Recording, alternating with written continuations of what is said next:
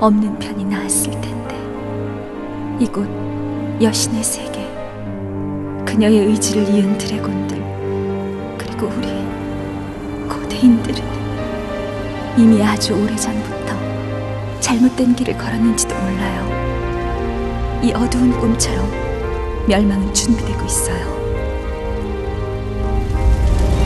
아득한 옛날부터 알고 있었어. 이 세계를 지켜야 한다는 것을. 무엇으로부터? 왜?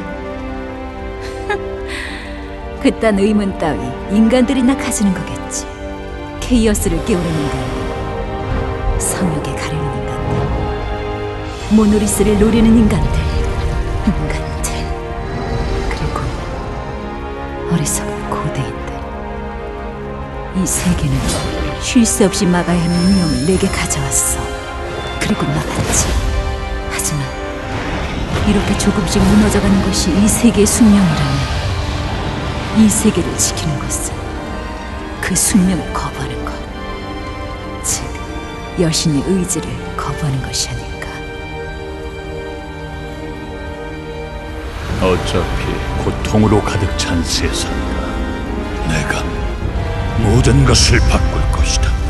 그녀를 대신한 세계의 주인이 될 것이다.